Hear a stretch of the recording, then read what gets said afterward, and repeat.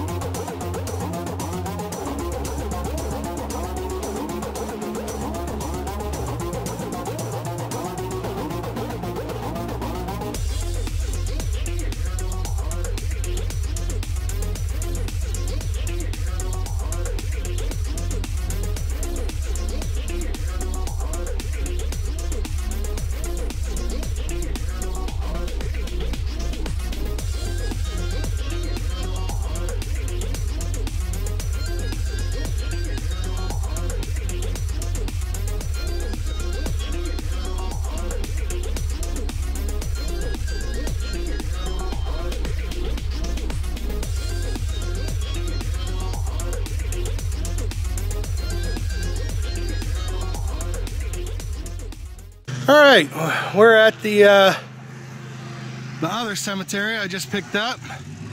It's not very big.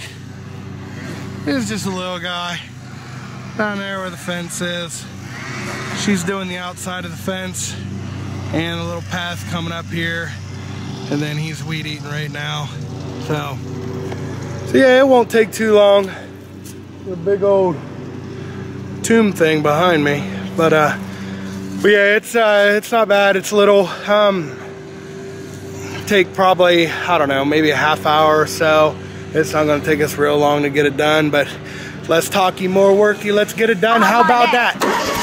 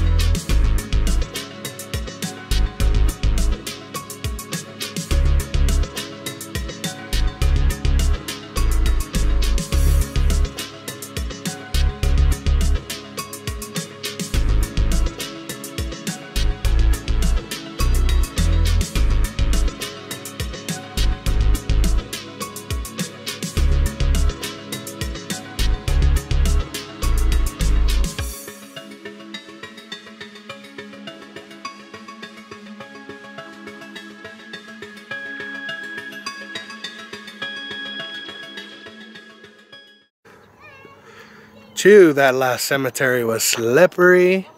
All the yards were bad today, but we got them done. Everything except for the really big soccer field because it looked like a pond. But I wasn't tearing it up and I wasn't losing my mower because it gets super swampy, especially down by the ditch. So, yeah, well, we got it done and uh, hope you enjoy this video.